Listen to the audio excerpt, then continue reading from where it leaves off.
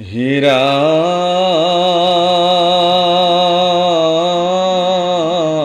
মৰা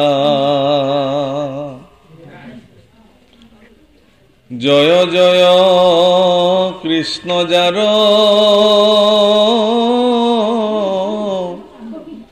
স্মৰণ মংগল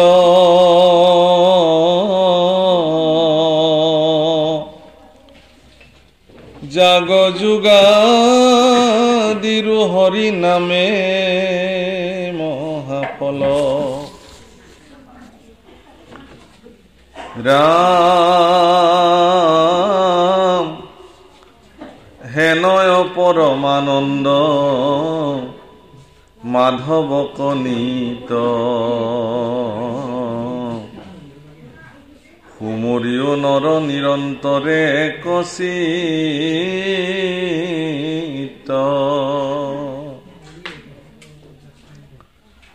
কৃষ্ণ কথায় অমৃত ক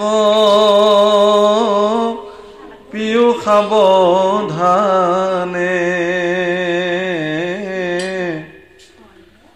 কৰিও যতন যাৱে প্ৰাণ থাকে মানে। ঘূৰ কলি যুগে মলমতি মনুষ্যৰ। নাহিয়ান ধৰ্ম হৰি কীৰ্তনত পৰ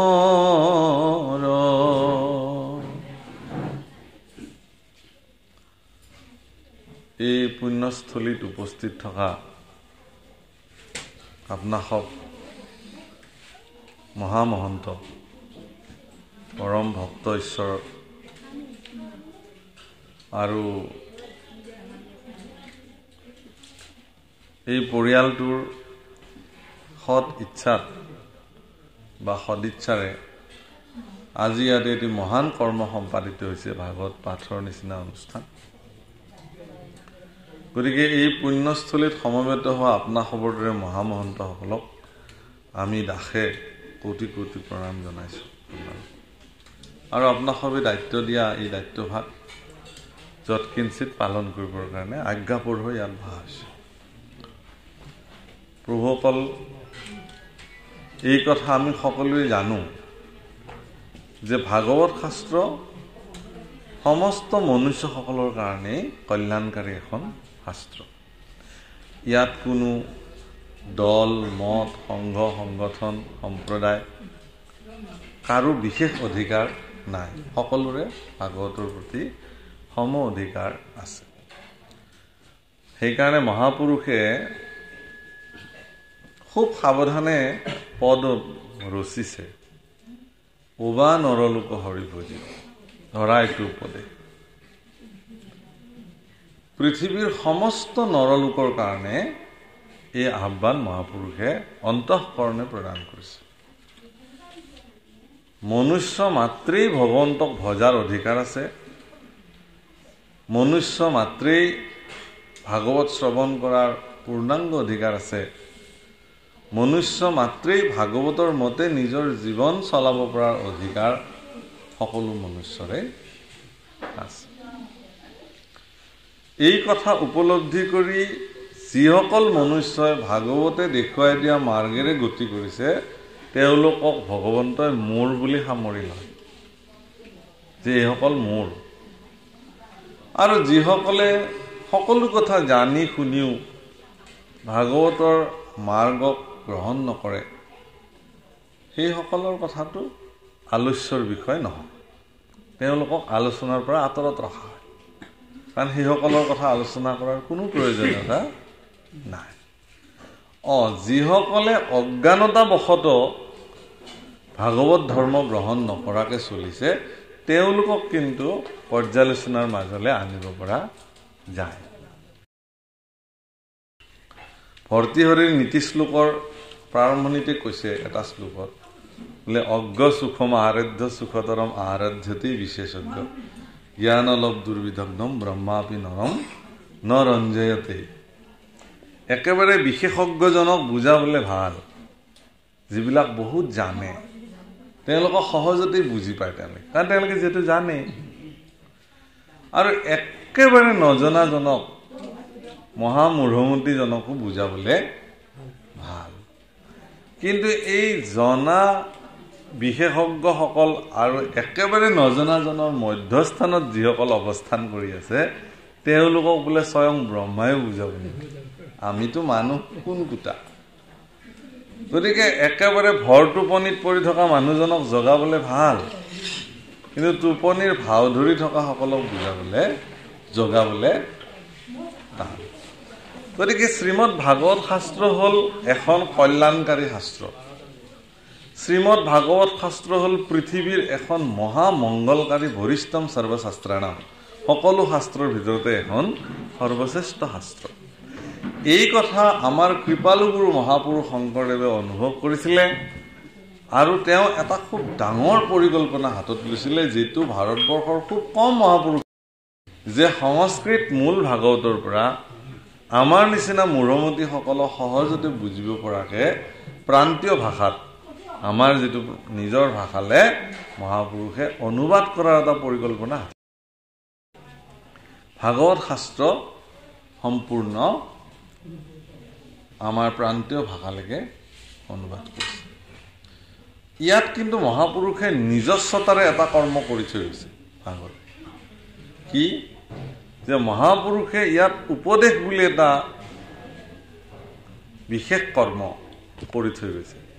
প্ৰত্যেকটো অধ্যায়ৰ সাৰাংশখিনি কেইটামান পদত সীমাবদ্ধ কৰি সেই অধ্যায়টোৱে বা সেই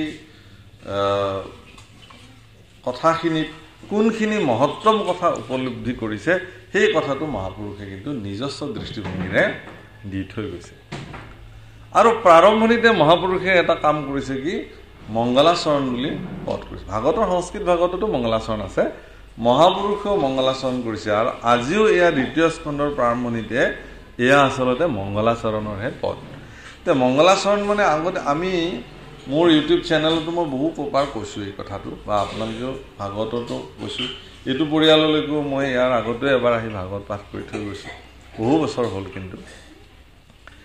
গতিকে মংগল যুগ আচৰণ সন্ধিযুক্ত হৈ মংগলাচৰণ হৈছে। আমাৰ প্ৰত্যেক মানুহৰে স্বকীয় স্বকীয় আচৰণ আছে কিছুমান। যিটোক আমি চৰিত্ৰ বুলিও ক'ব পাৰোঁ। বা ব্যক্তিজনৰ সেয়া পৰিচয় আচলতে। আচৰণটোৱে মানুহ এজনৰ পৰিচয়। মানুহ এজনক চিনাকি দিবৰ কাৰণে তেওঁৰ আচৰণসমূহৰ দ্বাৰা তেওঁক চিনাকি কৰোৱা হয়। যে এখেত এনেকুৱা এনেকুৱা এনেকুৱা এনেকুৱা ব্যক্তি। কিন্তু ভাগৱত শাস্ত্ৰ এটা সুকীয়া আচৰণ মানুহক গ্ৰহণ কৰিবৰ কাৰণে কৈছে। সেই আচৰণটোৰ নাম হ'ল মংগল আচৰণ। তে মংগল আচৰণটো মংগল কি? মহাপুৰুষে সেয়াও ক'বলৈ পাহৰা নাই। কি বুলি কৈছে? নাৰায়ণ স্মৰণেহে পৰম মংগল। ঈশ্বৰক স্মৰণ কৰা যদি আচৰণ কাৰোবাৰ জীৱনত আছে এনে বহু ব্যক্তি আছে যিজনে জীৱনত কেতিয়াও ভগৱান স্মৰণ কৰি পোৱা নাই কাৰণ তেওঁ সেইটো প্ৰয়োজন নাই। কিন্তু যিসকল ব্যক্তিয়ে জীৱনত বিশ্ব ব্ৰহ্মাণ্ডৰ মালিক যাৰ আজ্ঞা অবিহনে গছৰ এটা পাতো নলৰে। সেইজন মহাশক্তিমান প্ৰভু ভগৱন্তক নিত্য দৈনন্দিন জীৱনত স্মৰণ কৰাটো মানুহৰ এটা সুকীয়া আচৰণ হিচাপে গ্ৰহণ কৰে। আৰু সেই আচৰণৰ ভেটিত মহাপুৰুষে আজি বাণী কৈছে কি বুলি? জয় জয় কৃষ্ণ যাৰ স্মৰণ মংগল। হে কৃষ্ণ তোমাক জয় জয়কাৰ কৰা হৈছে। যাৰ স্মৰণে জাগ যোগাদিৰো হৰিনাম মহাফল। যিমানবিলাক জাগ যজ্ঞাদি আদি কৰ্ম আছে সেই কৰ্মসমূহৰ জাগ যোগাদিৰ হৰিনাম মহাফল। তাৰো মহাফলটোৱে অৰ্থাৎ ভাৰতীয় সনাতন পৰম্পৰাত ঈশ্বৰ ভজনাক যিমান প্ৰক্ৰিয়া আছে জাগ যজ্ঞাদিকে প্ৰমুখ কৰি সকলোৰে কিন্তু ফলশ্ৰুতিটো এটাই। প্ৰাপ্তিটো কি লাগে? হৰিনাম লাগে। ঈশ্বৰৰ নাম লাগে। কাৰণ মানুহৰ জীৱনত আমি যিবিলাক সম্পত্তি উপাৰ্জন কৰোঁ সেইবিলাক উপাৰ্জনহে। কাৰণ সেই সম্পত্তিসমূহৰ স্খলন আছে। ক্ষয় হ'ব নাশ হৈ যাব বিনাশ হ'ব বিনাশী। কিন্তু মানুহৰ জীৱনত অবিনাশী সম্পত্তি এটা অৰ্জন কৰিব পৰা যায় যাৰ নাম হ'ল হৰিনাম। আপুনি আপোনাৰ জীৱনত যিখিনি হৰিনাম আপুনি অৰ্জন কৰিব সেইখিনিৰ কোনো কালে তাৰ বিনাশ নঘটে। অঁ যদি আপুনি সেইখিনিক বিস্তাৰ বা বিতৰণ কৰিব খোজে তেতিয়াহ'লে তাৰ পৰা আৰু বৃদ্ধি। সেইকাৰণে প্ৰকৃতাৰ্থত সমস্ত ইতৰ প্ৰাণীবিলাকৰ ভিতৰত এটা শ্ৰেষ্ঠ শৰীৰ মনুষ্য শৰীৰটোক ভগৱন্ত পুৰুষে তেওঁক প্ৰাপ্তিৰ কাৰণেই আচলতে তেওঁ মনুষ্য শৰীৰ সৃষ্টি কৰিছিল। আৰু সেইকাৰণে ইয়াত এটা বাক্যত এটা খুব ধুনীয়া শব্দ কৈছে হেনয় পৰমানন্দ মাধৱক নিত সুমৰীয় নৰ নিৰন্তৰ একচিত্ৰ ইয়াত বিশেষভাৱে মানুহক কৈছে। অন্য প্ৰাণীবিলাকক এতিয়া বিয়োগ কৰি দিছে ইয়াত। হেনয় পৰমানন্দ কোনজন পৰমানন্দ? যিজন কৃষ্ণ পুৰুষক স্মৰণ কৰিলেই মানুহৰ মংগল সাধন। হয় সেইজন পৰমানন্দ মাধৱক ঈশ্বৰক আপুনি হে নৰ হে মনুষ্য আপোনালোকে একচিত্তে নিৰন্তৰে স্মৰণ কৰক। এইটো জীৱনৰ মহাফল শ্ৰেষ্ঠ আচৰণ। কৃষ্ণ কথা অমৃতক প্ৰিয় সাৱধানে। দ্বিতীয়তে কৈছে যে সেই কৃষ্ণ কথা কথামৃত আপোনালোকে জীৱনত একান্ত চিত্তে পাণ কৰক সাৱধানে। আৰু কেতিয়ালৈকে পাণ কৰিব দিছে? এই যত্ন বা এই প্ৰয়াস সিদিনাখনলৈকে ৰাখিব দিছে যেতিয়ালৈকে আপোনাৰ প্ৰাণ থাকে। অৰ্থাৎ জীৱনৰ অন্তিম মুহূৰ্তলৈকে আপুনি কৃষ্ণ কথা পাণ য'তেই সুবিধা পায় সাৱধান চিত্তে পাণ কৰিবৰ কাৰণে কৈছে। ইয়াত সাৱধান শব্দটো ভাগৱতত বহুবাৰ ব্যৱহাৰ কৰিছে। কৃষ্ণ কথা অসাৱধান বশতঃ শ্ৰৱণ কৰিব নালাগে।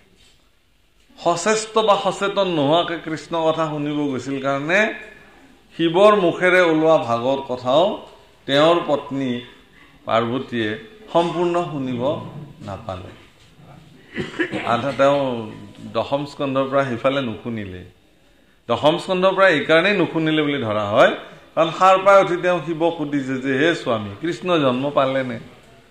তাৰমানে কৃষ্ণ জন্ম পোৱাটো তেওঁ নুশুনিলে কৃষ্ণ জন্ম দশমৰ প্ৰাৰম্ভণিতে আছে। তেতিয়া শিৱই নিশ্চিত হৈছিল যে এওঁ কৃষ্ণ কথা ভাগৱত কথা সম্পূৰ্ণ নুশুনিলে। যি নহওক হৰি কথা শ্ৰৱণ কৰিবৰ কাৰণে সাৱধান চিত্তে সাৱধান চিত্তে মানে ইয়াত দুটা কথা আছে বাপসকল। এক নম্বৰ সাৱধান এইটো যে এটাও কৃষ্ণ কথা যাতে মোৰ কৰ্ণ অগোচৰ নহয়। কৃষ্ণ কথা শুনাৰ পদ্ধতি এটাও কৃষ্ণ কথা যাতে মোৰ কৰ্ণৰ পৰা অগোচৰ হৈ নাযায়। এক। দুই নম্বৰতে হ'ল কি যে কৃষ্ণ কথা শুনি থাকোঁতে নিজকে আচলতে সেই কৃষ্ণ কথাৰ অন্যতম তত্ত্ব হিচাপে নিজক অনুভৱ কৰি থাকিব লাগে যে ময়ো ইয়াৰ ভিতৰতে আছোঁ। মোৰো অস্তিত্ব ইয়াতেই নিহিত হৈ আছে। যে সাৱধান চিত্ত নোহোৱাৰ কাৰণে পৰীক্ষিতৰ লগত একেলগে হাজাৰ হাজাৰ ঋষিয়ে ভাগত শ্ৰৱণ কৰিলে যদিও তেওঁলোকৰ মাজৰ পৰা কেৱল পৰীক্ষিতহে মুক্তি হৈ গ'ল মুখ্যপ্ৰাপ্তি হ'ল বা তেওঁলোকে অসাৱধান বশত শুনিলে।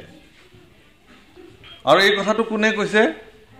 সুখদেৱে কৈছে। সহস্ৰ সহস্ৰ ঋষিসকলে তেওঁলোকে সুখদেৱৰ দৰে এগৰাকী পৰম প্ৰসিদ্ধ গুৰুৰ শ্ৰীমুখে ভাগৱত কথা শ্ৰৱণ কৰিলে আৰু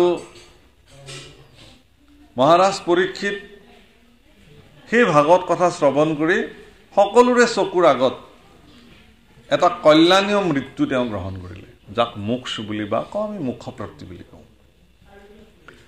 আৰু তেওঁলোকৰ পিছত এই ঋষিসকলে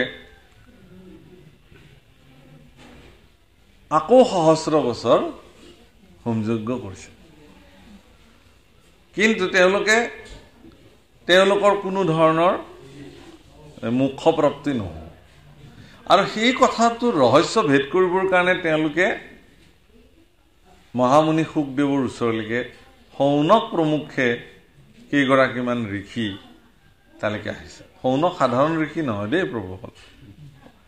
সেই তাত বহি থকা গোটেই ঋষিসকলৰ ভিতৰত আটাইতকৈ প্ৰৌঢ় বয়োজ্যেষ্ঠ। আৰু পৰম পণ্ডিত বেদজ্ঞ শাস্ত্ৰজ্ঞ এগৰাকী ঋষি সৌনক চৌনক আদি ঋষিসকল তেওঁলোকৰ এটা প্ৰতিনিধি দলে মহামুনি সুখদেৱ। সুখদেৱ দেৱৰো দুৰ্লভ দেই প্ৰভুসকল। আমাৰ পৰম সৌভাগ্য জীৱনত মনুষ্যকলে আমি সুখদেৱৰ শ্ৰীমুখে ভাগত কথা আজিও আমাৰ সমাজত প্ৰবাহিত হৈ আছে বা আপুনি মই আমি শুনি আছো। যি কি নহওক দেৱৰো দুৰ্লভ মহামুনি সুখদেৱে তেওঁলোকক কৈছে যে আপোনালোকে মোক কিয় মোৰ ওচৰলৈকে কিয় আহিছে? বোলে আপোনাক আকৌ নিবলৈ আহিছোঁ। কিহৰ কাৰণে? যে আমি আকৌ কৃষ্ণ কথা শুনিম ভাগৱত কথা শুনিম। বোলে কিয় সেয়া নুশুনিলা নেকি পৰীক্ষিত কওঁতে? বোলে শুনিলো। কিন্তু আমাৰ সন্মুখত পৰীক্ষিতে মনুষ্য জীৱন সাৰ্থক কৰিলে আমাৰ দেখোন একোৱেই হোমে ধুম ধুম্ৰ বৰ্ণ ভৈল কলে বৰ এহেজাৰ বছৰ হোমযোগ্য কৰিলো একোতো ফলপ্ৰাপ্তি নহল। তেতিয়া মহামুনি সুখদেৱে কৈছে অ তেতিয়াহ'লে তোমালোকে সাৱধান চিত্তে ভাগত কথা শুনা নাছিলা। সাৱধান চিত্তে ভাগত কথা শুনিব লাগিছিল। পৰীক্ষিতে যেনেকে সাৱধান চিত্তে পৰীক্ষিতে পৰীক্ষিতৰ দৰে মানসিক চাপ থকা তাতে কোন আছিল? নিজৰ ৰাজ্য ভাৰ পুত্ৰ পৰিবাৰ সমস্ত পৰিত্যাগ কৰি বাকলি বসন পিন্ধি গংগাৰ তীৰত আহি বহিছে জীৱনৰ সৰ্বশ্ৰেষ্ঠ কৰ্ম সাধন কৰিবৰ কাৰণে। কিন্তু এইসকল ত্যাগী ঋষি মুনি তেওঁলোকৰ সেই ভাৱনাটো নাছিল নেকি? সেইকাৰণে মহাৰাজ পৰীক্ষিতে ভাগৱত কথাৰ দ্বাৰা জীৱন ধন্য কৰিলে কিন্তু বাকীসকলে নোৱাৰিলে। সেইকাৰণে পৰৱৰ্তী সময়ত ভাগৱতত মহামুনি সুতে যেতিয়া ভাগৱত কথা কৈছে সৌনক প্ৰমুখে ঋষিসকলৰ আবেদন মৰ্মে বাৰে বাৰে এই কথাটো উল্লেখ কৰিছে যে সাৱধান চিত্তে সেইকাৰণে ইয়াত আৰু এটা কথা বাৰে বাৰে কৈছে যে কৃষ্ণ কথা অমৃত কপিও সাৱধানে কৰিও যত্ন যাৱে প্ৰাণ থাকে মানে। ঘূৰ কলি যুগে মলমতী মনুষ্যৰ নাহি আন ধৰ্ম হৰি কীৰ্তনত গতিকে যুগ যুগ ধৰ্ম নিৰ্ণয় কৰি কৈছে যে যিহেতু এই যুগটো কলি যুগটো এটা বৰ ভয়ংকৰ যুগ মলমতী আৰু মনুষ্যসকল স্বাভাৱিকতে। গতিকে ইয়াত হৰিকীৰ্তন কৰিবৰ কাৰণে ইয়াত ঈশ্বৰ চিন্তা কৰিবলৈ হলে তেওঁ কি কৰিব লাগিব? হৰি কীৰ্তন ঈশ্বৰৰ গুণানুকীৰ্তন শ্ৰৱণ কীৰ্তন ব্যতিৰেকে আৰু অন্য ব্যৱস্থা নাই। এইটো ভাগৱতৰ মত। হীৰা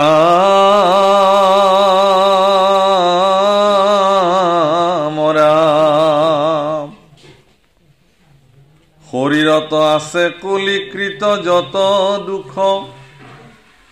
গুচুক প্ৰথমে কৰা হৰি হৰি ঘোষ ৰাম কৃষ্ণৰ চৰণে কৰি অশেষ প্ৰণতি অচ্যুতৰ কিংকৰ শংকৰ নিগদতি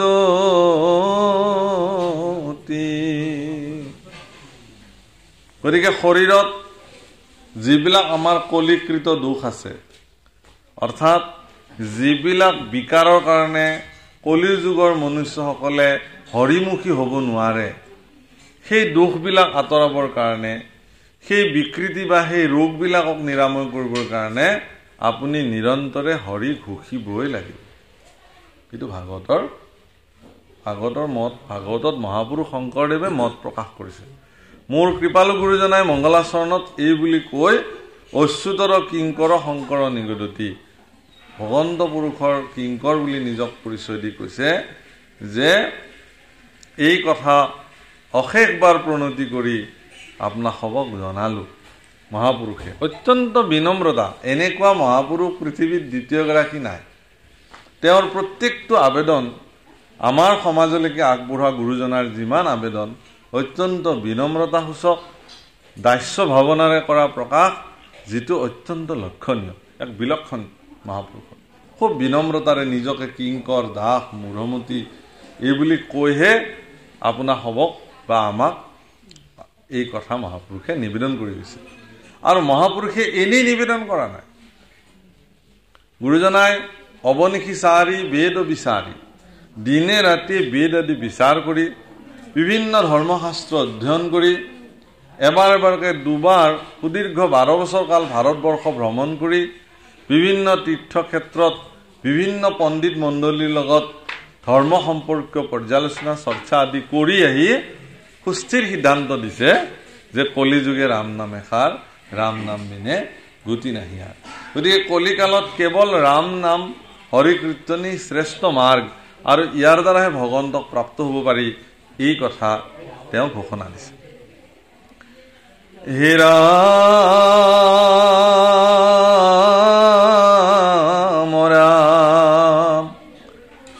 দ্বিতীয় স্কন্ধৰ কথা শুনি উৎসুকে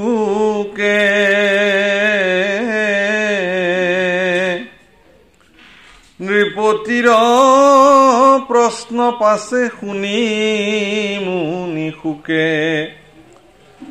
কৃষ্ণ পদ পংকজক হৃদয়ত ধৰি। দিলন্ত সিদ্ধান্ত তাংক সাধুৰ বাদ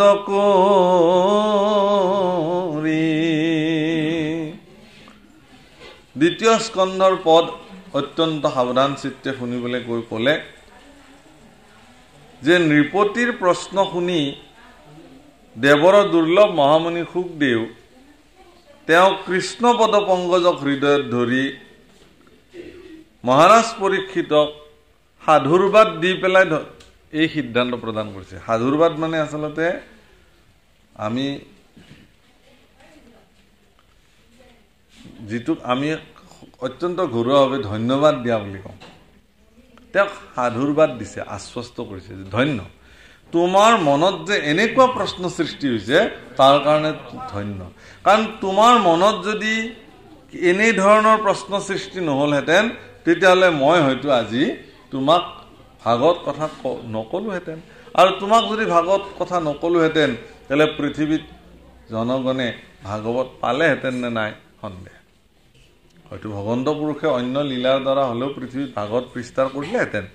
কিন্তু পৰীক্ষিতৰ মাধ্যমেৰে ভাগৱত পৃথিৱীত অধিক পৰিমাণে বিস্তাৰিত হোৱাত সুযোগ হৈছে। সেইকাৰণে তেওঁ সাধুৰবাদ দিছে যে সাধু সাধু সাধু ধন্য তোমাৰ মনত। প্ৰশ্ন কি আছিল?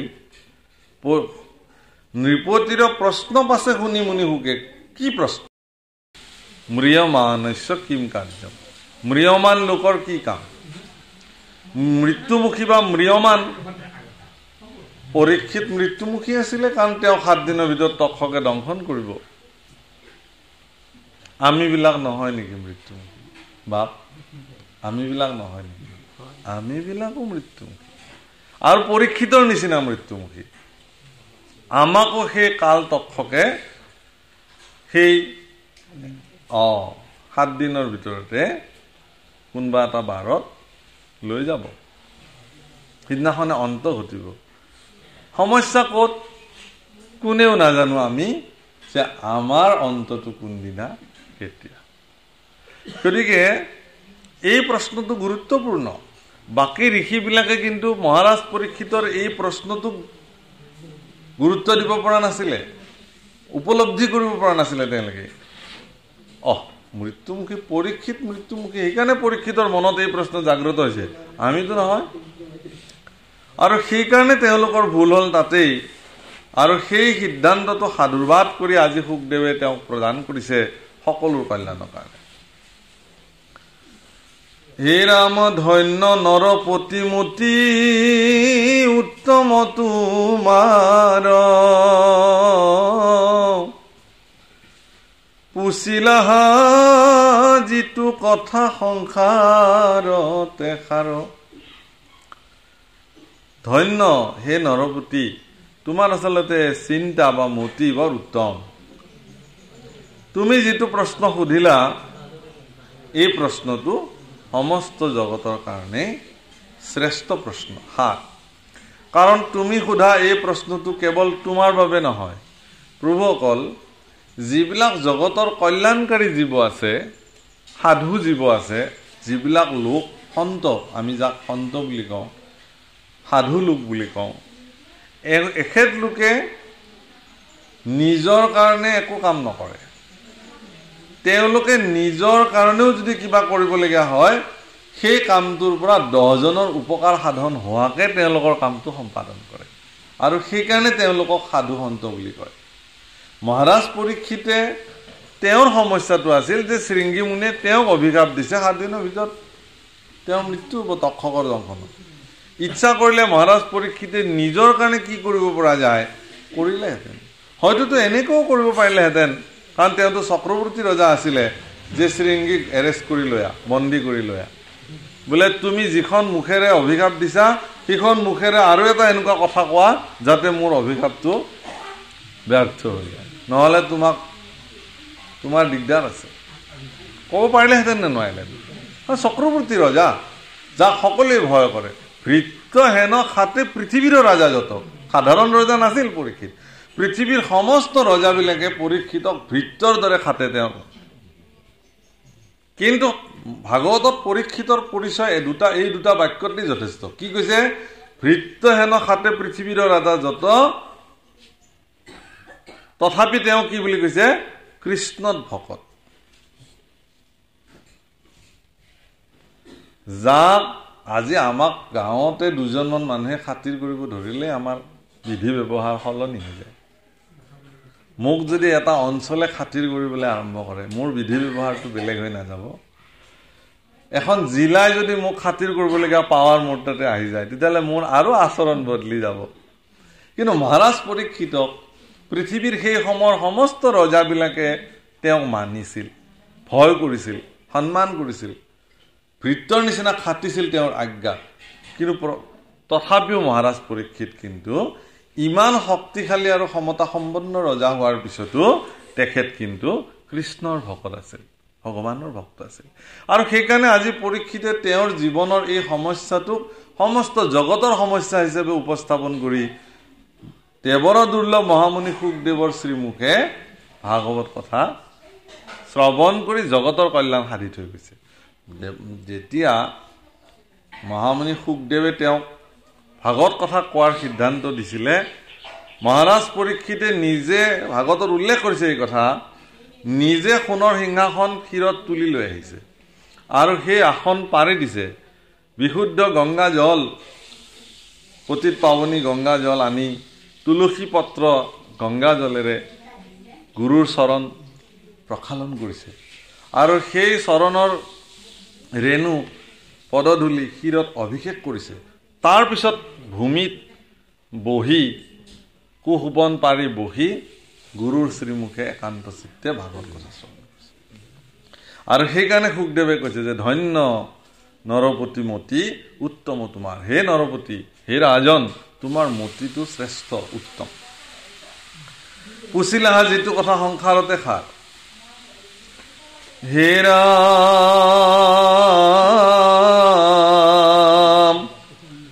মুখৰ সাধন জগতৰে হিত।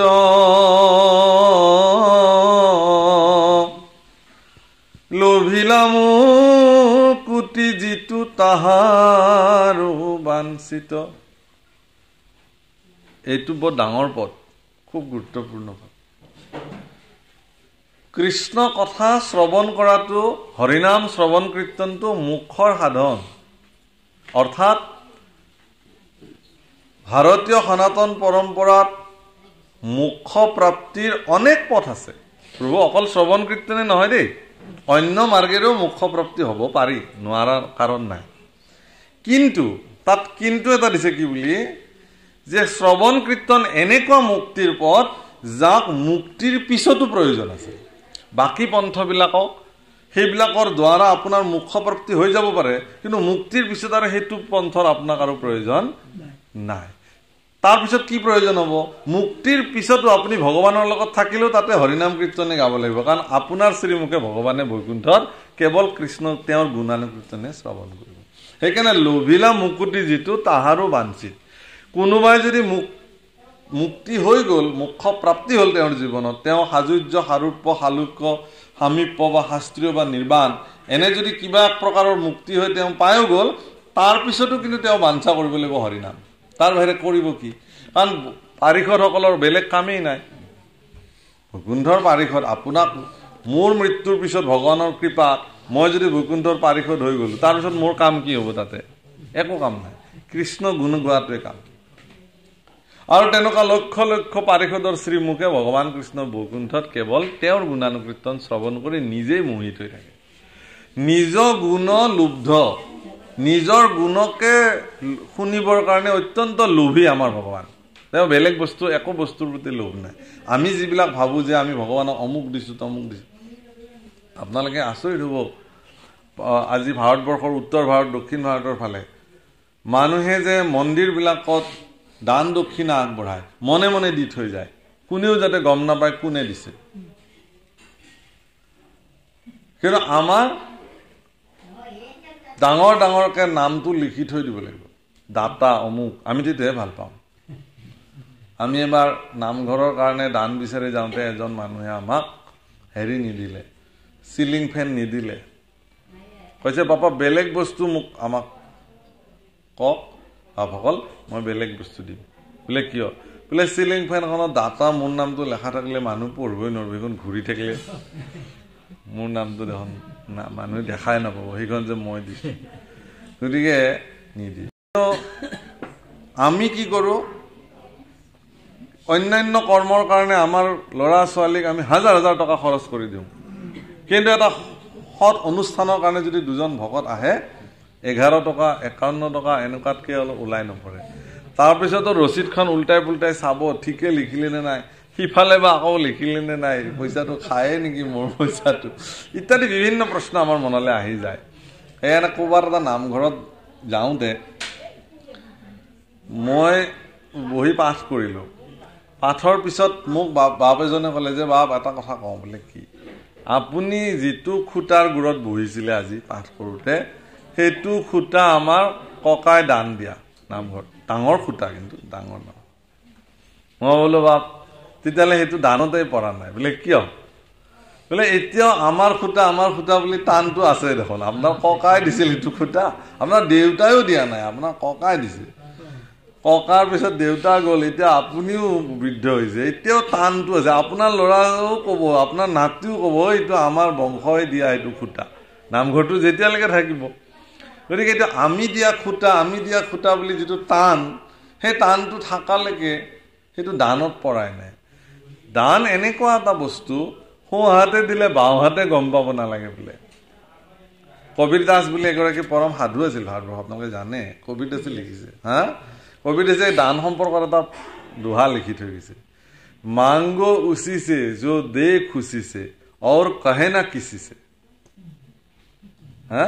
মাংগো উচিছে তেওঁক খুজিবলৈ কৈছে যিজনে খুচিকে দি দিব পাৰে। দিছে আপুনি আপুনি কোন? দিবলৈ প্ৰশ্ন প্ৰথম প্ৰশ্ন মই কোন ছাৰ? মইনো কি এনেকুৱা যে মই ভগৱানক দিব পাৰোঁ? ভগৱানৰ ইমান অভাৱ হৈ আছে যে মই দিলেহে ভগৱানে খাব কি দিব? যাদৱ যদুৰাই ব্ৰহ্মাণ্ডৰ ভিতৰে যত বস্তু আছে সবে তোমাক পায়। গতিকে এই সমস্ত বস্তু সকলো তেওঁৰে। আমি নিমিত্ত মাত্ৰ। মোৰ এই শৰীৰ তন মন চিন্তা চব তেওঁৰ। মোৰনো নিজৰ বুলিবলৈ কি আছে গতিকে মোৰ দ্বাৰা যদি কিবা দিয়াই চাওঁ সেইটো তুমি নিজে কৃপা কৰি দিয়াইছা প্ৰভু মোৰ নিমিত্ত মাধ্যম মাত্ৰ।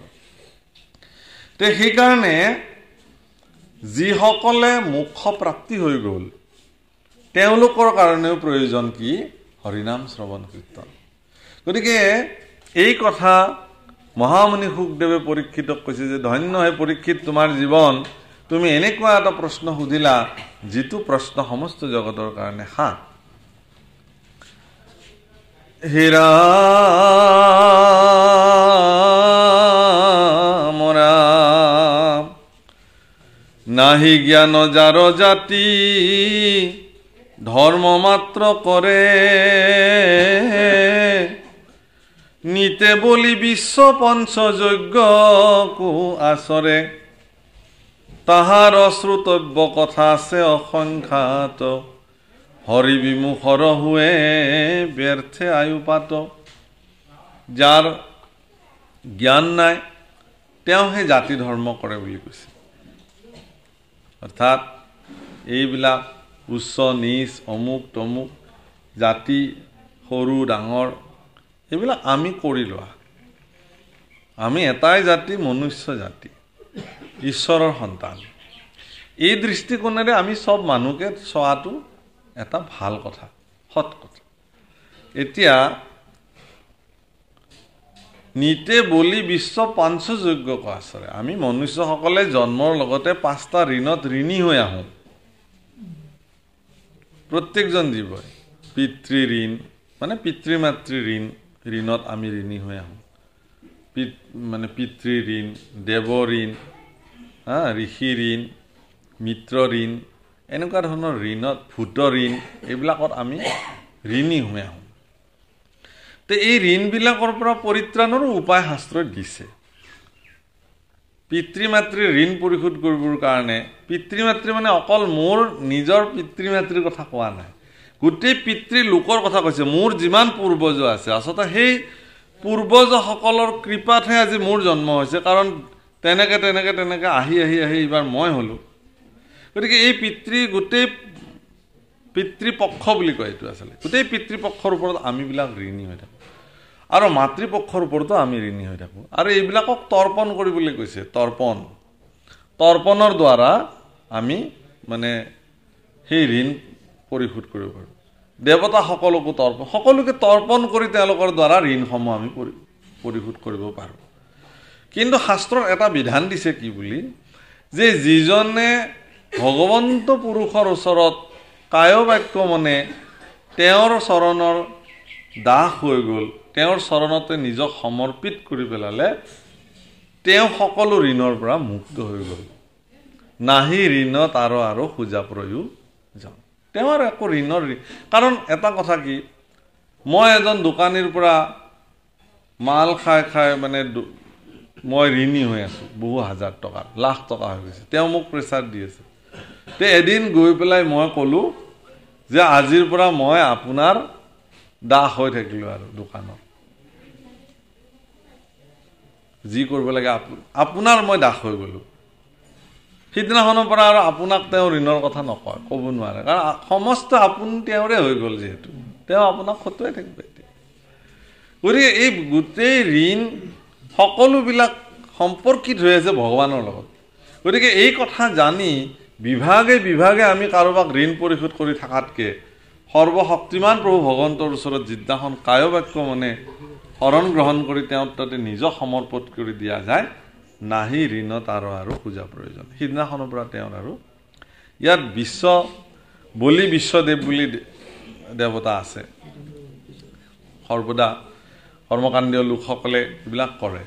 তাৰ ব্যৱস্থাটো বেলেগ। যে যিবিলাক অন্ন ৰন্ধা হয় সেইটো অগ্নিত সমৰ্পিত কৰা হয় তাৰ অগ্ৰভাগ। সেই ব্যৱস্থাও আছে। এইবিলাক কৰে মানুহে। কিহৰ কাৰণে কৰে? যে এই ঋণসমূহৰ পৰা মুক্ত হ'বৰ কাৰণে। কিন্তু ইয়াত সংক্ষেপ্তে মহাপুৰুষে এটা বস্তু আনিছে কি? যে তাহাৰৰ শ্ৰোতব্য কথা আছে অসংখ্যাত। এইবিলাক সম্পৰ্কেতো আলোচনা কৰিবলগা অনেক কথা আছে। কিন্তু মূল কথা চমুৱাই এই বুলি কৈ থৈ দিলে যে হৰি বিমুখী বিমুখৰ হোৱে ব্যৰ্থে আয়ুপাত। হৰি বিমুখ হৈ থকা লোকসকলে তেওঁলোকৰ জীৱনবিলাক আচলতে এই ধৰণৰ কৰ্ম সাধন কৰিবলৈ গৈ ব্যৰ্থতে তেওঁ আয়ুসবিলাক নাশ কৰে। গতিকে আপোনাৰ জীৱনৰ আয়ুসকালক আপুনি যদি ব্যৰ্থে নাশ কৰিব নোখোজে তেতিয়াহ'লে সত্তৰে যিমান সোনকালে পাৰে সত্তৰে শব্দটো ব্যৱহাৰ কৰিছে যিমান সোনকালে পাৰে ভগৱান কৃষ্ণৰ চৰণত নিজক সমৰ্পিত কৰি দিব লাগে। আপুনি অন্তঃকৰণে কায় মন বাক্য এইকেইটাই জীৱনৰ সত্তা শ্ৰেষ্ঠ সত্তা।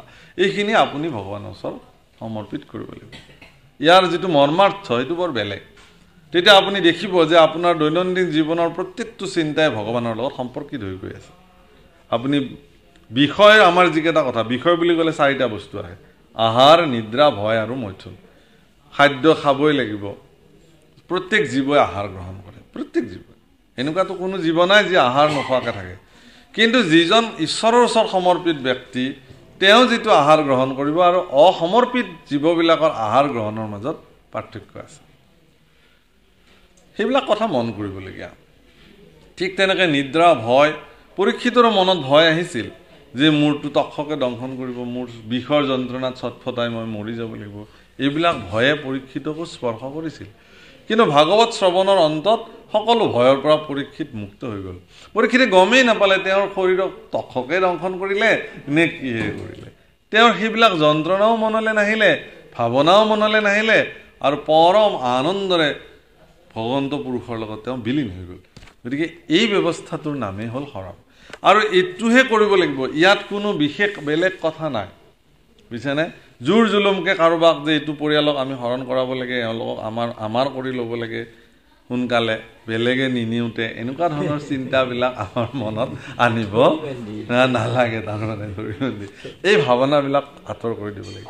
যোনেই য'তে যাওক কিন্তু তেওঁ সমৰ্পিত হৈছে নে নাই প্ৰকৃতাৰ্থত এটা পৰিয়াল বা এজন ব্যক্তিয়ে ভগৱানৰ ওচৰত সমৰ্পিত হৈ পেলাই প্ৰকৃত মাৰ্গ যদি লৈছে এই দৃশ্য যদি আপুনি দেখিছে সঁচা অৰ্থত যদি আপুনি এজন সমৰ্পিত ব্যক্তি হয় আপোনাৰ মনত কিন্তু আনন্দ আহিব।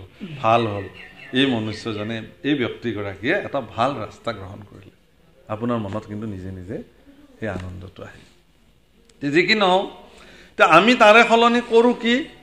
সেয়াও ভাগৱতে কৈছে। হীৰা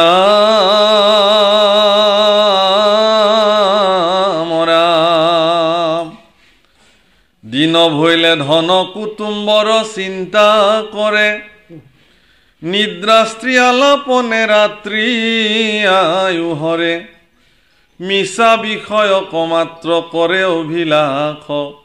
সিহেতু নেদেখে নৰে আপোন বিনাশ। হেন জানি যাৰ ইচ্ছা মুখ কহৰ বথা পৰীক্ষিত তেবে শুনিও ক কৃষ্ণ কথা। গতিকে তাৰ সলনি আমি কি কৰোঁ যে মিছা বিষয়ক মাত্ৰ আমি অভিলাষ কৰোঁ। দিনততো ধন কুটুম্বৰ চিন্তাতে থাকোঁ ৰাত্ৰিও স্ত্ৰী আলাপনে ৰাত্ৰিৰো আয়ুসখিনি হৰণ কৰোঁ। কৃষ্ণ চিন্তা মনলৈ আহেও কেতিয়া? ভগৱন্তক স্মৰণ কৰি ব্ৰহ্মা আদি কৰি জীৱজত মায়া সজ্জা মাজে আশ্ৰয় ঘুমতি যায় প্ৰভু। সমস্তটো মায়া সজ্জাতে হৈছে। এতিয়া ময়ো আকৌ শুবলৈ ল'লোঁ। ৰাতিপুৱা তুমি জগাই দিবা মোৰ ভিতৰত নিজে জাগৰণ কৰিবা। গতিকে ৰাতিপুৱা সাৰ পালে কৃষ্ণ সূৰ্য ভৈলন্ত উদিত বুলি ভগৱান কৃষ্ণক স্মৰণ কৰি ভূমি মাতৃক শ্ৰদ্ধা জনাই প্ৰথমটো খোজ আগবঢ়ায় শৰণীয়া বা আমাৰ হেৰি ব্যক্তিসকলে। তো জীৱনটো আৰম্ভ হয় তাৰ পৰা। আৰু প্ৰত্যেকটো কৰ্মতে ঈশ্বৰ চিন্তা ভাৱনাৰে তেওঁলোকে চলে। তেওঁৰ দ্বাৰা কৰা প্ৰতিটো কৰ্মৰ আগমুহূৰ্তত ভগৱান চিন্তন হয়। ইয়াৰ পৰা লাভ কি হয়? আপোনাৰ দ্বাৰা কেতিয়াও অসৎ কৰ্ম সম্পাদিত নহয়। কাৰণ অসৎ কৰ্ম আপুনি ভগৱান চিন্তা কৰি কৰিব নোৱাৰে অলপ হ'লেও মনত সংকোচ আহিব যে মই এনেকুৱা বেয়া কাম এটা কেনেকৈ কৰিবলৈ যাওঁ।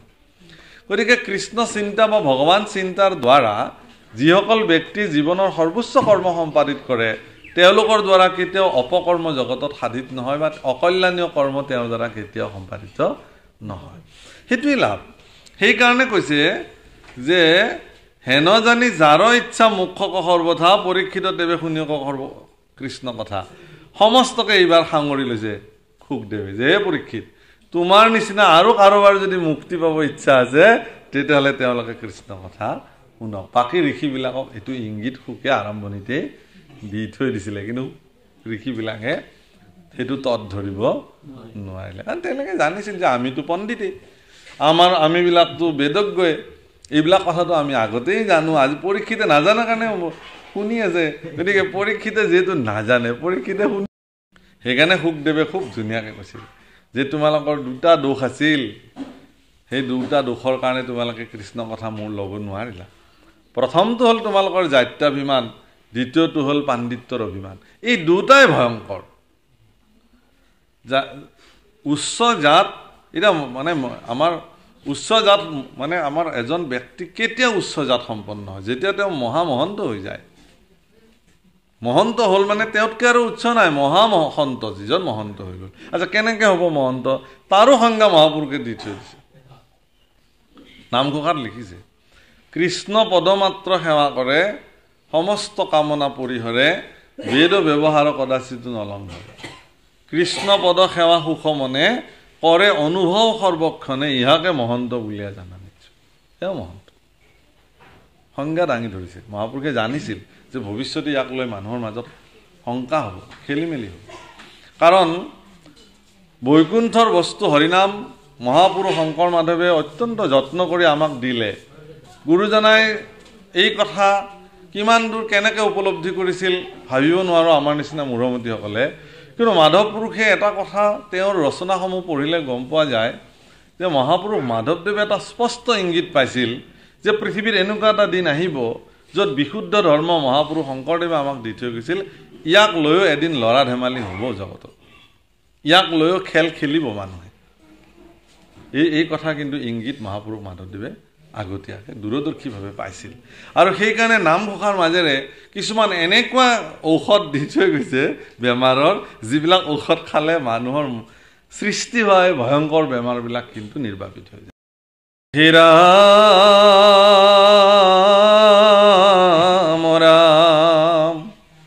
সমস্যাসমূহৰ সমাধানৰ উপায় দিছে। কি? দিবে চিত্ত কৃষ্ণ গুণ নাম কীৰ্তনত কৃষ্ণ ৰেখে পাদ পদ্ম স্মৰিবে মনত। এইবিলাক উপায়। সকলোৰ কাৰণে দেই এইবিলাক এইবিলাক কোনো, কোনেও কাৰো এইবিলাক ব্যক্তিগত সম্পত্তি নহয়। প্ৰত্যেকজন মানুহৰ অধিকাৰ আছে। কি? দিবে চিত্ত কৃষ্ণ গুণ নাম কীৰ্তন। কৃষ্ণৰ গুণনাম কীৰ্তনত নিজৰ চিত্ত সমৰ্পিত কৰিবলৈ কৈছে। এইটো প্ৰত্যেকেই কাম কৰিব পাৰে। প্ৰত্যেকজন মানুহ কাকো বাধা দিয়া কৃষ্ণ ৰেখে পাদপদ্ম স্মৰিবে মনত আৰু মনত সৰ্বদা ভগৱান কৃষ্ণৰ দুখানি অভয় চৰণ চিন্তা কৰিব। চবেই কৰিব পাৰে। সকলোৱে কৰিব পাৰে। ৰাম নাৰায়ণ স্মৰণেষে পৰম মংগল মানে জীৱনৰ জন্মৰ সাফল আৰু এইখিনি জীৱনৰ জন্মৰ আপোনাৰ দৰে মোৰ দৰে মনুষ্য জন্ম পোৱাৰ প্ৰাপ্তিত এইখিনি সাফল। দুটা কথা মাত্ৰ। কি? যে দিবে চিত্ত কৃষ্ণ গুণ নাম কীৰ্তনত। কৃষ্ণ ৰেখে পাদপদ্ম স্মৰিবে মনত। এই দুটা কথা। যে আপোনাৰ চিত্ত কৃষ্ণ গুণানাম কীৰ্তনত দিয়ক আৰু আপোনাৰ চিত্তত কৃষ্ণৰ পাদপদ্ম সৰ্বদা চিন্তা কৰক। এই দুটাই। এই দুটা হ'ল আভ্যন্তৰিক বিষয়। প্ৰভুসকল ভাগৱত শাস্ত্ৰই আমি যিবিলাক নৈতিকতাক লৈ সমাজত কাজিয়া হৈ আমি খণ্ড বিখণ্ড হৈ আছোঁ সেনেকুৱা কোনটো নৈতিকতা ভাগৱতত উল্লেখ আছে মোক আপোনালোকে দেখুৱাই দিয়ক? এটাও নাই। সেইবিলাক আমি আমাৰ সুবিধাজনকভাৱে কৰি লোৱা কিছুমান নীতি তাকে লৈ আমি কাজিয়া কৰি আছোঁ। সেইবিলাকৰ কোনো যোনে যি কৰিছে কৰিব দিয়ক কিন্তু মূল আভ্যন্তৰিক বিষয়কেইটাত আপুনি নিজক স্থিতি কৰি ৰাখক।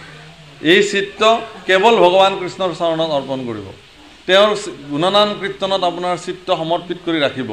আৰু তেওঁৰ অভয় দুখানি অভয় চৰণ হৃদয়ত সৰ্বদা চিন্তা কৰিব। যিটো গোপীসকলে কৈছিলে ৰাসক অশ্লীলতা ৰাখে মানুহে। গোপীবিলাকে কৈছে হে প্ৰভু তোমাৰ হস্তপদ্ম আমাৰ শিৰত দিয়া আৰু তোমাৰ পাদপদ্ম আমাৰ স্তনত দিয়া। তাৰমানে কি? হস্তপদ্ম মানে কি? ভগৱানৰ কৃপা। গোপীসকলে কৈছে আমি যিহেতু তোমাৰ চৰণত সমৰ্পিত ভক্ত গতিকে তোমাৰ কৃপা আমাৰ শিৰত থাকিবই লাগিব। আৰু তোমাৰ দুখানি চৰণ আমাৰ হৃদয়ত থাকক সৰ্বদা। এই দুটা হ'ল মুখ্য আভ্যন্তৰীণ বিষয় বাপসকল। ইয়াতে কোনোবাই কি কৰিছে কি নকৰিছে চাকি কেইগছ জ্বলাইছে মানে শৰাইখন কোনে কেনেকৈ পাতিছে এই যে কথাবিলাকত আমিবিলাকে বেছি লাগি থাকোঁ তাৰ ফলত আমি আভ্যন্তৰিক দিশটোত বহুত পিছুৱাই থাকিলোঁ বহুত। কোনোবা সেই পাতখন উৰি যায় কাৰণে কল এটা দি থৈ দিলে ওপৰত। কলপাতখন বতাহতে বোলে বাহিৰতে শৰাই পাতিছে। চাৰিটা কল দিছে বোলে। দি আৰু কলপাত এখন আগলতি ঢাকি দি কেনে কলপাতখন উৰি নাযাবৰ কাৰণে আৰু এটা শক্তিশালী কল এটা মানে পাতখনৰ ওপৰত দি থৈ দিছে। এতিয়া দূৰৰ পৰা গাঁৱৰ পৰা এজন মানুহ আহিছিল তেওঁ আকৌ সেই চাই আছে। গাঁৱত তেওঁ হুলস্থুল লগাই দিছে। আপোনালোকে বাহিৰত নাযায় নুশুনে। পাঁচটা কল লাগিব এটা এই ওপৰতো দিব লাগিব। মই দেখি আহিছোঁ নহয় এটা ডাঙৰ সভা। আপোনালোকে এইটো নিদেই মই এইখন শৰাই খাম। আজি মই নাখাওঁ বেয়া নাপাব। কিয়? বোলে ওপৰত কলটো দিয়া নাই নহয়। কাৰণ তেওঁ আচলতে ভাগৱত শুনিবলৈ অহা নাছিল। সেই যে কলটো দিছে সেইটোতে তেওঁৰ গোটেই সময়খিনি তাতে কটাই থৈ গুচি গ'ল। কাৰণ তেওঁ গৈ গাঁৱত ডাঙৰ মানুহ হ'ব লাগিব ডাঙৰ ভকত হ'ব লাগিব। কাৰণ মই বাহিৰত ঘূৰি ফুৰোঁ তেওঁৰ চিন্তাটো সেই কলটোতে থাকিলে। আৰু ভগৱানৰ এইবিলাক কৃপা যে তুমি ইয়াতে লাগি থাকাচোন আজি যা গতিকে কেশৰ চাকি দিছে ফুল তুলসী দিছে নে নাই হেন তেন দিছে নেকি চাকি কেইখৰ জ্বলাইছে কোন মোৱাকে জ্বলাইছে কি কৰিছে কি নকৰিছে কলপাত দিছে নে নাই কেনেকৈ দিছে গুৰু আসন কেনেকৈ প্ৰতিষ্ঠা কৰিছে হেন তেন এই যে কিছুমান বাহ্যিক কথা বতৰাত আমিবিলাকে বেছিকৈ লাগি থাকোঁ। যাৰ ফলত গতিকে মূল আভ্যন্তৰীণ বিষয় ভাগৱত শাস্ত্ৰই আজি ভাগৱত ধৰ্ম বুলি কৈ ভাগৱতত কৈছে। কি কৈছে বাপসকল? যে দিবে চিত্ৰ কৃষ্ণ গুণ নাম কীৰ্তনত কৃষ্ণ ৰাখে পাদপদ্ম স্মৰিবে মনত। কৃষ্ণৰ চৰণ আপুনি হৃদয়ত চিন্তা কৰি নামতে নিজৰ চিত্ৰ সমৰ্পিত কৰিব।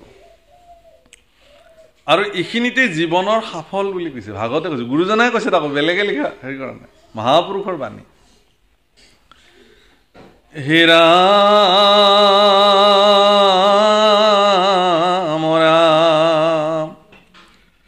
অন্তকালে হৰিস্মৰে যিটো ভাগ্যৱন্ত তাহাৰ মহিমা কহি কোনে পাৱে অন্ত।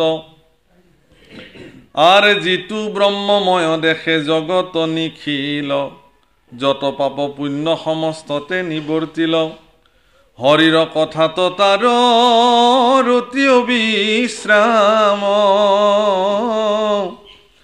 সদায় মুখত নেৰয় ৰাম কৃষ্ণ নাম। বুলিবা অপূৰ্ব কিনো কহিলা হামুনি ইটো কথা একো পুৰুষত নতো শুনি অন্তকালে হৰিস্মৰে যিটো ভাগ্যৱন্ত তাহাৰো মহিমা কহি কোনে পাওঁ জীৱনৰ অন্তিম শ্বাস যিটো শ্বাসত মোৰ জীৱন শেষ হ'ব। সেই অন্তিম শ্বাসত অন্তিম মুহূৰ্তত আপোনাৰ মুখত যদি হৰিনাম আহিলে আপোনাৰ জীৱন ধন্য হৈ গ'ল গতিকে এতিয়া আৰু ল'ব নালাগে বাপসকল নহ'ব হ'ল হ'বনে বাপ সেইটোত ল'ম আৰু। এতিয়াতো আমাৰ হোৱা নাই সময়। অ কৃষ্ণ সেইটোহে কথা। আৰু তাতকৈ ডাঙৰ কথা কি মোৰ লাষ্ট শেষ কেতিয়া মইতো নাজানো। সেইকাৰণে নিৰন্তৰে বোলা ৰাম ৰাম নিৰন্তৰ। এজন মানুহে এই বা ভাগৱততনো বাৰে বাৰে বাৰে বাৰে শংকৰদেৱে কেৱল নিৰন্তৰে বোলা ৰাম ৰাম নিৰন্তৰে বোলা ৰামৰ কিয় ইমান লিখিবলগীয়া হৈছে? কিয় লিখিবলগীয়া হৈছে? মোৰ হয় নেকি? হৈছে হয়তো মই শুনা পাই থাকোঁ নহয়। প্ৰত্যেকটো মানে অধ্যায়ৰ শেষতে কৈছে নিৰন্তৰে বোলা ৰাম ৰাম। কিয় ইমান ক'ব লাগে? ইমান ক'ব লাগে নেকি? বোলো বাপ আপুনি তেতিয়াহ'লে নিৰন্তৰে ৰাম নাম লয় নে নলয়? একদম নিৰন্তৰ আপুনি লয় নে নলয়? কৈছে মই ল'ব পৰা নাই। এই চাওক বাপ। ইমান বাৰ কোৱাৰ পিছতো আপুনি ল'ব পৰা নাই। গুৰুজনাই যদি এবাৰ বা দুবাৰ কৈ থৈ দিলেহেঁতেন তেতিয়াহ'লে আৰু নল'লে হয় মানুহে। ইমান আপুনি জানে গুৰুজনাই বাৰে বাৰে কৈছে নিৰন্তৰে বোলাৰাম তাৰপিছতো আপুনি নিৰন্তৰ ল'ব পৰা নাই। অজপা নিৰন্তৰ বোলাৰাম ৰাম কেনেকুৱা অৱস্থা? যেতিয়া এজন সাধক নামৰ সাধক আপোনাৰ ভজনীয়া যিবিলাক ব্যক্তি আছে শৰণৰ শৰণৰ পিছৰ স্তৰটোকে ভজন বোলে ভজনৰ স্তৰত সেইটো ইমান গুৰুত্বপূৰ্ণ সেইকাৰণে মহাপুৰুষ মাধৱদেৱে নামঘোষা ভজনৰ পৰা আৰম্ভ কৰিছে। মুক্তিত নিষ্প্ৰিয় হা ভজনৰ পৰা আৰম্ভ কৰিছে। ভজনটো হ'ল শৰণৰ কাৰ্যকৰী ৰূপ। শৰণ মানে মাত্ৰ এডমিশ্যন অন্তৰ্ভুক্তি। তাৰ পৰৱৰ্তী বাকী যিখিনি তেওঁৰ জীৱনৰ বাস্তৱিক জীৱনত তেওঁ কি ধৰণে আচৰণ ধৰ্ম আচৰণ কৰিব আচৰণৰ ব্যৱস্থা ভজনত আছে। কেনেকৈ তেওঁ নামৰ সাধনা কৰিব? আৰু এজন ব্যক্তিৰ জীৱনত নামৰ সাধনা কৰিবই লাগিব যদি নকৰে তেওঁৰ নামটোৱে মূল বস্তু। গতিকে তাৰ ওপৰৰ স্তৰ আৰু আছে বেলেগ কথা সেইবিলাক। কিন্তু নামৰ সাধনাটো তেওঁ যেতিয়া কৰি যাব সেইটোৱে তেওঁৰ কাৰণে জীৱনৰ সৰ্বশ্ৰেষ্ঠ। গতিকে যেতিয়া তেওঁ নাম সাধনা কৰি যাব কৰোঁতে কৰোঁতে কৰোঁতে কৰোঁতে এটা সময়ত এনেকুৱা এটা পৰ্যায় পায় যাক অজপা বুলি কয়। তেওঁ নজপিলেও নিজে নিজে তেওঁৰ ভিতৰত নামৰ ধ্বনি ধ্বনিত হৈ থাকে আৰু আপোনাৰ প্ৰত্যেকটো শ্বাস প্ৰশ্বাসত যেতিয়া নিজে নিজে নামৰ ধ্বনি ধ্বনিত হৈ থাকিব এতিয়া তাৰপিছত যিটো শ্বাসতে আপুনি যাওক পৃথিৱীৰ পৰা নামেৰে আপুনি গুচি যাব। পাৰিব। গতিকে আপোনাৰ মহিমা আৰু ভাগৱতে ক'ব নোৱাৰে। নোৱাৰোঁ বুলি কৈছে। তাহাৰো মহিমা আৰু কহি নাপাওঁ তেওঁৰ অন্ত কৰিব নোৱাৰে। তেওঁৰ মুখ কাৰণ যিজন ব্যক্তি জীৱনৰ অন্তিম ক্ষণতো নাম স্মৰণ কৰি পৃথিৱীৰ পৰা গুচি হে ৰাম শুনা সাৱধানে আৰু নৃপতি উত্তৰ। ইটো মহাভাগৱত শাস্ত্ৰ বৈকুণ্ঠৰ। আত্মহাধৰ্ম একে নামে সে প্ৰখ্যাত। শ্ৰৱণ কীৰ্তনে কৰে শ্ৰৱণ মাত্ৰকে কৰে কৃষ্ণক সাক্ষাৎ হে নৃপতি। আজি তোমাৰ সন্মুখত যি ভাগ শাস্ত্ৰ ব্যক্ত হৈছে যি ভাগৱত শাস্ত্ৰ আজি তোমাক মই ক'বলৈ আৰম্ভ কৰিছোঁ এই শাস্ত্ৰ পৃথিৱীৰ শাস্ত্ৰ নহয় ই বৈকুণ্ঠৰ শাস্ত্ৰ।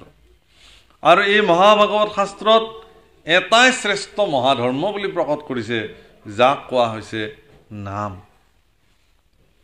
হৰেৰ নাম হৰে নাম হৰে নাম এইবোৰ কেৱলম কলো নাস্তি নাস্তব্য নাস্তব্য গতিৰ অন্যথা হৰিৰ নামেই কেৱল গতি গতিকে এই নামৰে নামকে ইয়াত প্ৰসিদ্ধ কৰা হৈছে। পৰীক্ষিত সেইকাৰণে ভাগৱত শুনি গুৰুদেৱ শুকক সিদ্ধান্ত দিছে যে কি পালা তুমি ভাগৱতৰ পৰা? বোলে দুটা বস্তু পালোঁ মই। পৰীক্ষিতৰ নিচিনাতো আৰু ভাগৱত কোনেও শুনা নাই পৃথিৱীত। শ্ৰেষ্ঠ শ্ৰোতা বুলি যাক ধৰা হয়।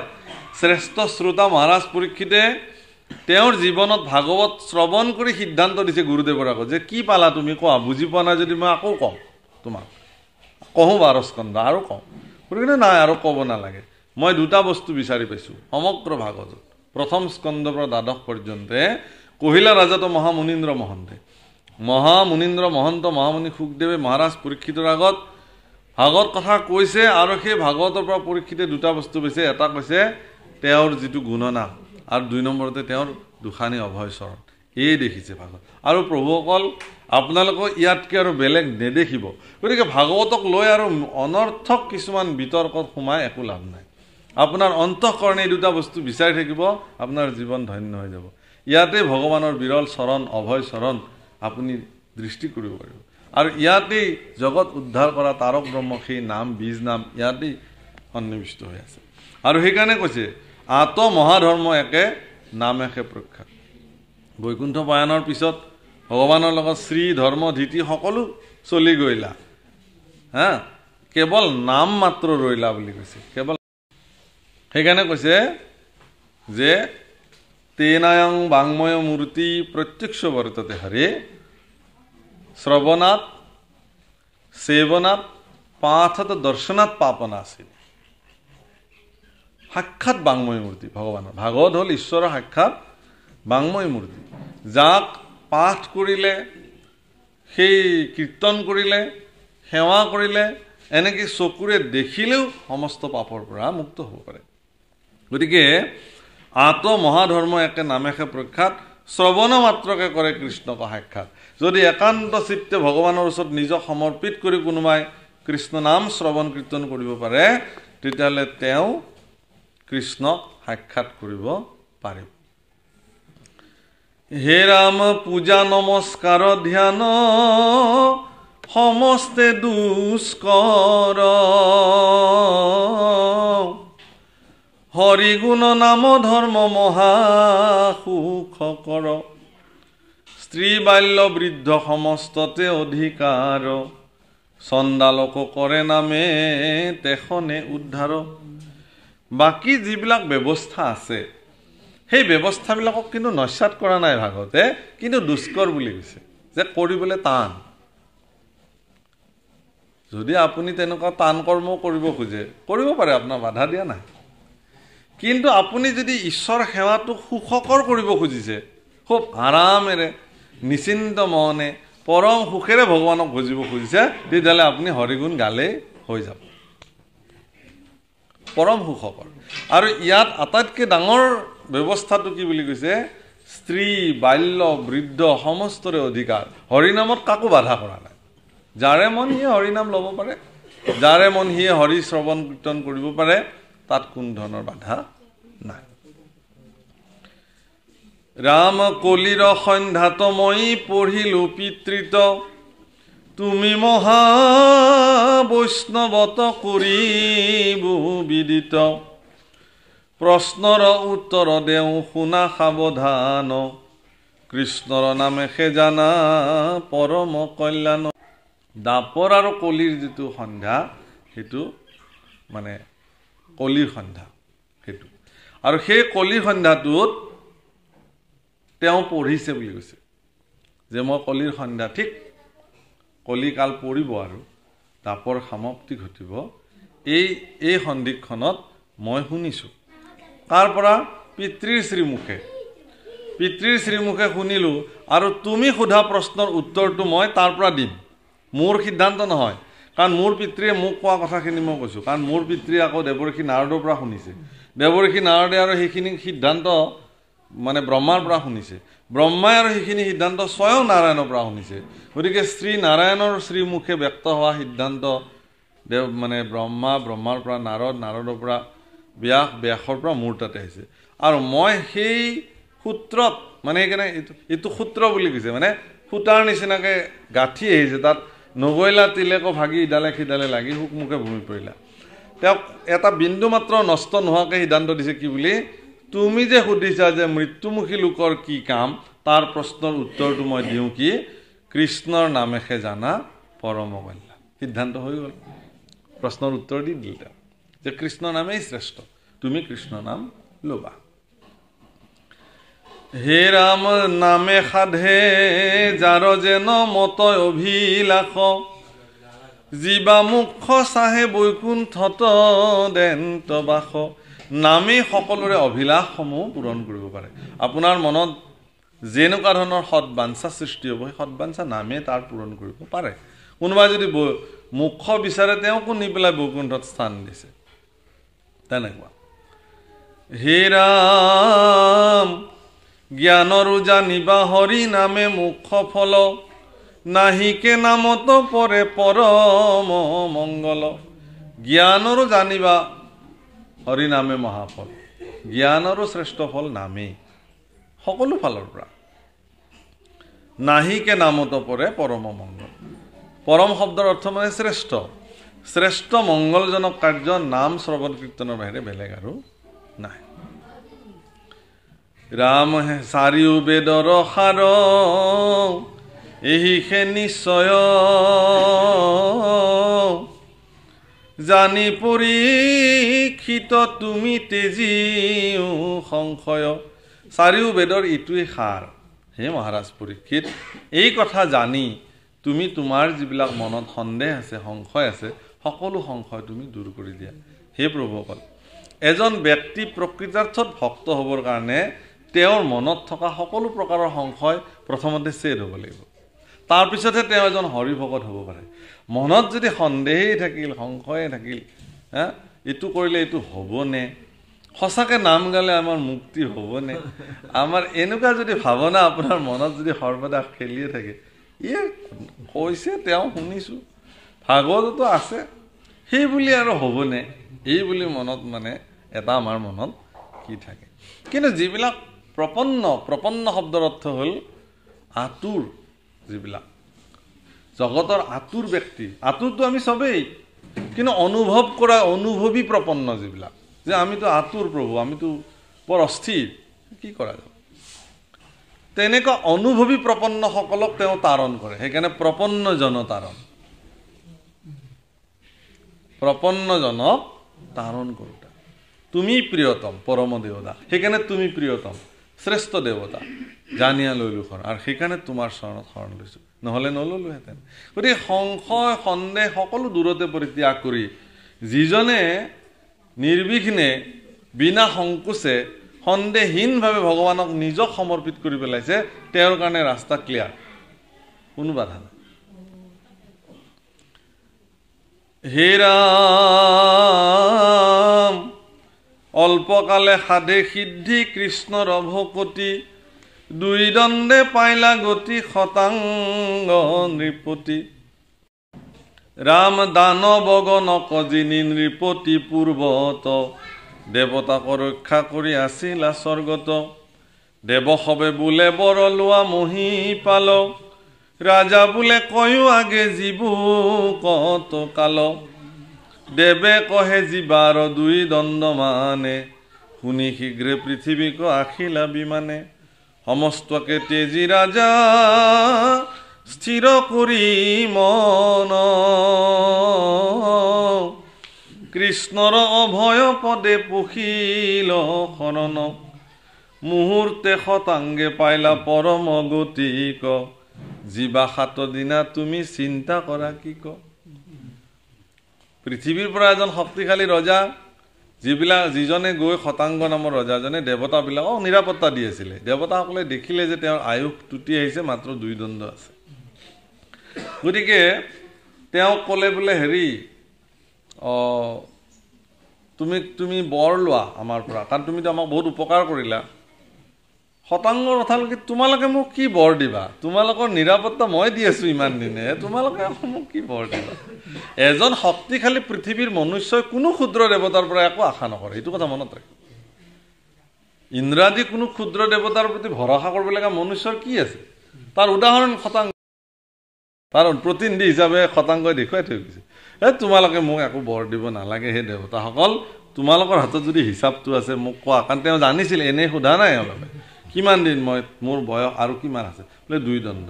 শুনি শীঘ্ৰে পৃথিৱীক আখিলা বিমানে তেওঁ জানে যে স্বৰ্গত মুখ্যপ্ৰাপ্তিৰ পথ মানে কি নাই? বাৰণ আছে তাত বাধা আছে। স্বৰ্গত থাকি মুখ্যপ্ৰাপ্তি চিন্তা কৰিব নোৱাৰে। সেইকাৰণে তৎক্ষণাত পৰম কল্যাণকাৰী স্থান পৃথিৱী য'ত ঈশ্বৰে অৱতাৰ ধাৰণ কৰে বাৰে বাৰে সেই পৃথিৱীলৈ তেওঁ আহিছে। আহি সমস্তকে তেজী ৰাজা স্থিৰ কৰি মন কৃষ্ণৰ অভয় পদে পখিল শৰণ সমস্ত পৰিত্যাগ কৰি ভগৱানৰ দুখানী অভয় চৰণত মহাৰাজ শতাংগই নিজকে সমৰ্পিত কৰিছে আৰু তেওঁৰ পৰম গতি প্ৰাপ্ত হৈছে। সুখদেৱে পৰীক্ষিতক আশ্বস্ত কৰিছে। মানে সাহস দিছে যে হে ৰাজন তোমাৰ চিন্তা কৰিবলগীয়া নাই তুমি সাত দিন থাকিবা। দুই দণ্ডত যদি নৃপতি শতাংগ যদি মুক্তি প্ৰাপ্ত হ'ব পাৰে তেতিয়াহ'লে তুমি কিয় নোৱাৰিবা? তুমিও পাৰিবা। ৰাম এহি বুলি কহিলা ধাৰণা যোগমুনি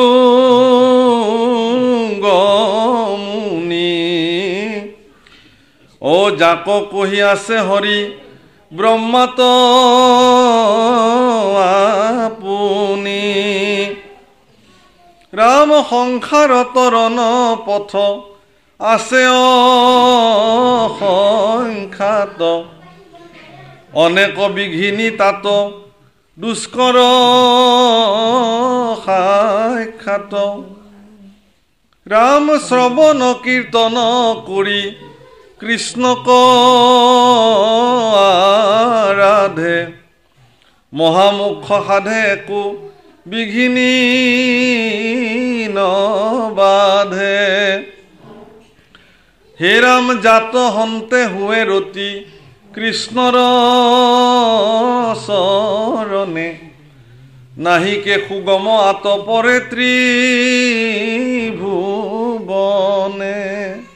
বৰ সুন্দৰ কথা ক'লে। বৰ অমৃত। যে সংসাৰ তৰিব পৰা পথ অনেক আছে।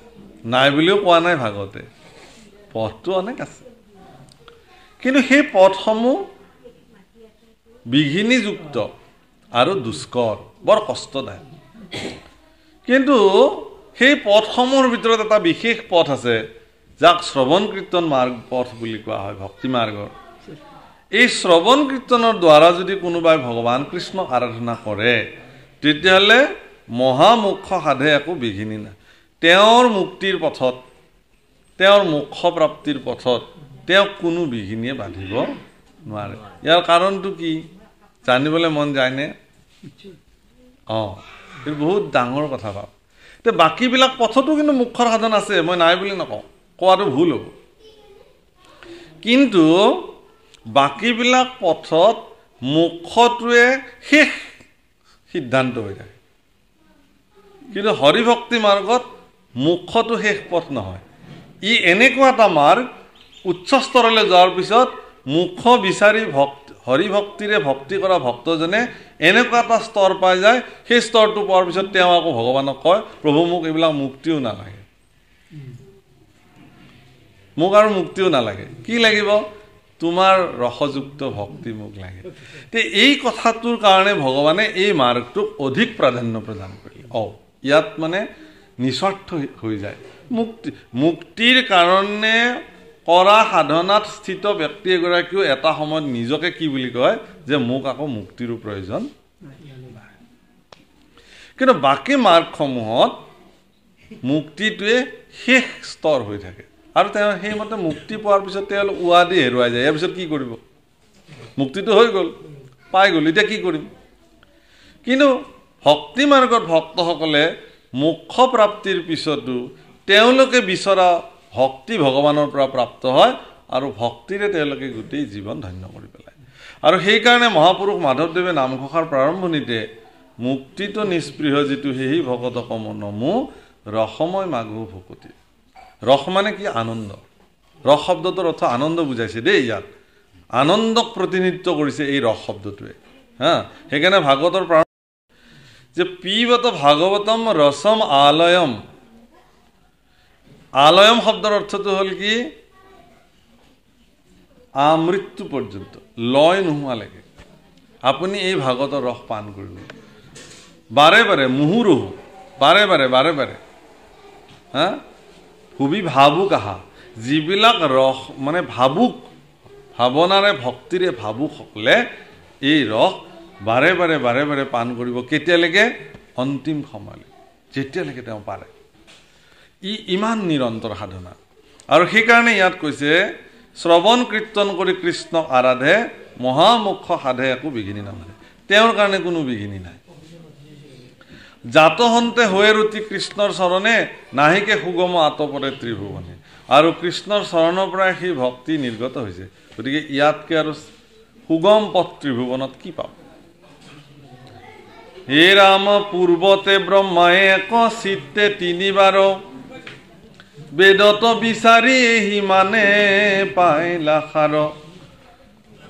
শ্ৰৱণ কীৰ্তন মাত্ৰ সুগম ভকতি অল্পতে উপজে গোবিন্দত প্ৰেমৰতী হেন জানি মহাযত্নে কৃষ্ণ কহৰ বথা। শ্ৰৱণ কীৰ্তন কৰা তেজি আন কথা। গতিকে আন কথা সকলো বাদ দি কেৱল কৃষ্ণকে চিন্তা কৰা। এইটোৰ কাৰণে এটা বিশেষ বস্তুৰ প্ৰয়োজন। কোনেও কাকো কৃষ্ণৰ প্ৰতি ভক্তি যুক্ত কৰি তুলিব নোৱাৰে। ই স্বয়ংক্ৰিয় সাধনা আৰু অত্যন্ত ব্যক্তিগত সাধনা। আপোনালোকক ক'লোঁ। হৰিভক্তি সাধনা এশৰণ তত্ত্ব যিটো মহাপুৰুষে দিছে এইটো ইমান থুনুকা নহয়। সেইটো কথা খুব দৃঢ়তাৰে মন কৰিব। মই ক'ৰবাত গ'লেই যে মোৰ ভক্তিটো সিদিনাখন ঠাণ্ডা হৈ যাব এনেকুৱা নহয় কিন্তু। আটাইতকৈ দৃঢ় ব্যৱস্থা। গতিকে সেইটো কাৰো সমভাগী এই শৰণটো মোৰ হৃদয়ৰ বস্তু সম্পূৰ্ণ দৃঢ়তাৰে মই ইয়াক ৰক্ষা কৰিব পাৰোঁ নিজে। মোক মোৰ এই শৰণটো ৰক্ষা কৰিবৰ কাৰণে মোক কোনো সুদৃঢ় সংবিধানৰ প্ৰয়োজন নাই। মোক কোনো তেনে কোনো সংগঠনৰ প্ৰয়োজন নাই। মোক তেনেকুৱা কোনো ব্যক্তিৰ প্ৰয়োজন নাই।